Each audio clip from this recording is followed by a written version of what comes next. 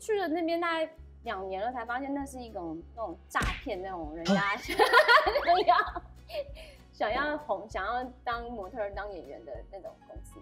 然后真的真的真的他的商业模式是什么哦？叫叫你说去拍宣传照，然后就是。我常常要去网络上，就是五九一，然后争一些就是有这些梦想的小妹妹们来公司，就是拍拍照这样子。